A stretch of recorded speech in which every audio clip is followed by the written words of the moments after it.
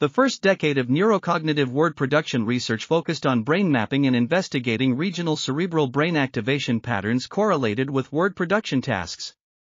A comprehensive meta-analysis by Indefrey and Levelt, 2004, combined spatial information on neural correlates of component processes of word production with time course data from behavioral and electromagnetic studies. Recently, there has been a shift towards a hypothesis testing approach in neurocognitive word production research, which involves designing experimental variables to modulate single component processes in testing for predicted effects on spatial or temporal neurocognitive signatures.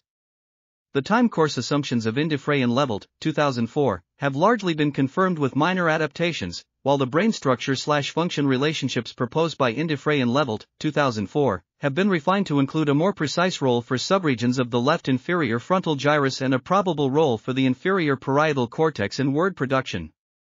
This article was authored by Peter Ian Defray and Peter Ian Defray. We are RTCL.TV, links in the description below.